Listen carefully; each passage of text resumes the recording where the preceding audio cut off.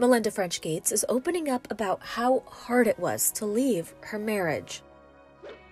On Monday, the 57 year old billionaire philanthropist was named one of USA Today's Women of the Year. For her profile, she reflected on some personal challenges she's faced, including her highly publicized divorce from Bill Gates. Quote, We all have low moments. I would say, probably though, for sure, my lowest moment in life was when I finally reached the decision that I knew I needed to leave my marriage, she told the outlet, adding, quote, That wasn't something I ever thought would happen to me. It certainly wasn't what I thought on the day I got married, but I realized for myself I needed to make a healthier choice, and that was a very, very sad day.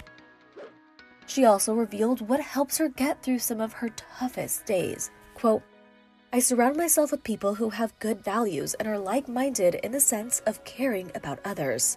And so, a group of people that I can be authentic with and I can pick up the phone in tears and talk to them or say, Can we go for a walk?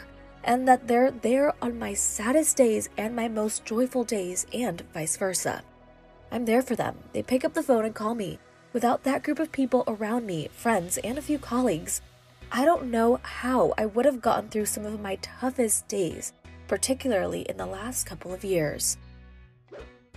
During her profile, Melinda also talked about her investment and incubation company Pivotal Ventures and touched on the importance of making societal change for women and people of color.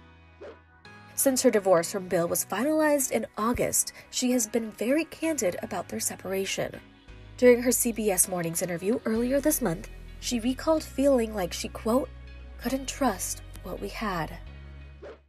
Well, I certainly believe in forgiveness. Um, so I thought we had worked through some of that. It wasn't one moment or one specific thing that happened. There just came a point in time where there was enough there that I realized it just wasn't healthy and I couldn't trust what we had. Did you have moments where you were just so angry? Did you have moments that you were just in such pain?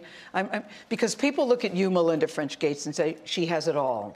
Well, I think it's really important to say, look, I had a lot of tears for many days. I mean, days where I'm literally laying on the floor and the carpet, you know, this close to me, thinking, how can this be? How can I get up? How am I going to move forward? And days I certainly was angry. That's part of the grieving process. You're grieving a loss of something you thought you had and thought you had for your lifetime.